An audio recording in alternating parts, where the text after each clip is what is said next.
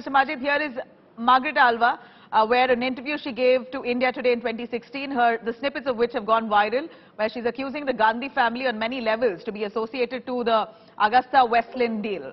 In fact, she now is your candidate for vice president. Is this a peace deal, is what the BJP questions. Well, you see, in politics, there are always grievances, allegations which are taking place. And then uh, in the year, some years ago, if she had some grievances with either Mrs. Sonia Gandhi or with Congress, that does not mean that she is to be completely discounted. Now in the year 2022, when opposition unanimously suggested her name to be fielded as the vice candidate, uh, vice president's candidate for opposition, Sonia Gandhi's approval is also there. So why, are, what is the media trying to find out?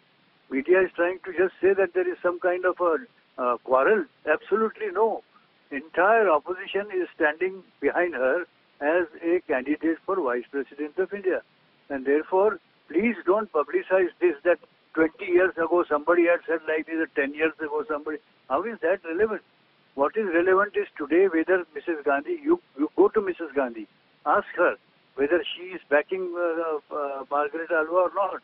She will say, yes, I am. That is what she has told the entire united uh, uh front uh, headed by uh, no other than our leader Sharad Pawar. You know, uh, why you may say that this is uh, an interview given years ago. It wasn't so long ago, though. 2016, as recent as 2016, uh, Margaret Alva spoke on our platform and extensively. She's also further uh, elaborated the same allegations on her in her book. The Congress no, at that point had dismissed it as as just mere publicity stunt, etc. Uh, but after much of those allegations, it seems like she's the candidate for the opposition. What was the no, uh, what was the I, logic behind coming to a decision uh, and and no, concluding I, on Margaret Alva? As I, must tell you, I must tell Margaret your viewers, Alva.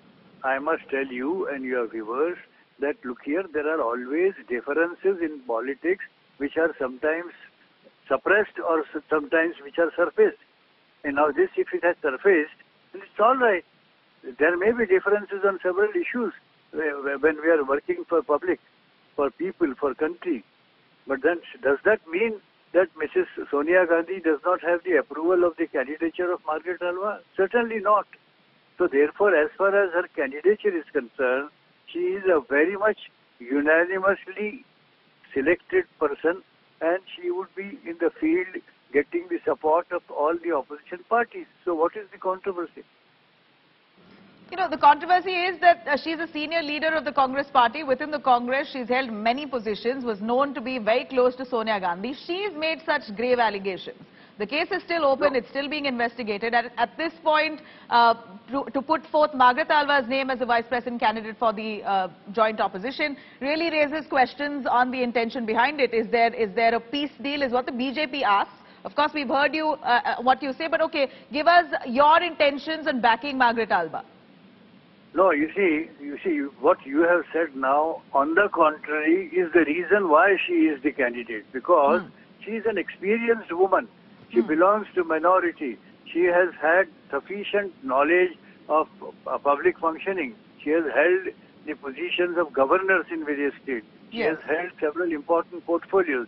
These are the qualifications for which, you see, her name was chosen by the wisdom of collective opposition leadership. And therefore, what is wrong if she had some difference with Mrs. Gandhi at some point of time? But still, I am telling you that today is in 2022. 2016, something may have happened. 2021 also something may have happened. I don't have any problem about that. But in 2022 now, for vice president's candidature, Mrs. Gandhi has also supported her. So what's the problem?